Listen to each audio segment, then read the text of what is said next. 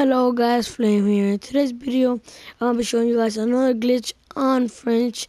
It's a pretty cool glitch. It's a hiding glitch and super easy and awesome for Michael Myers or hide and go seek. Alright.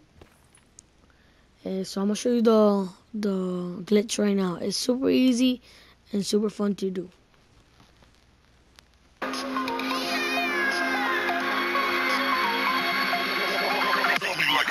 A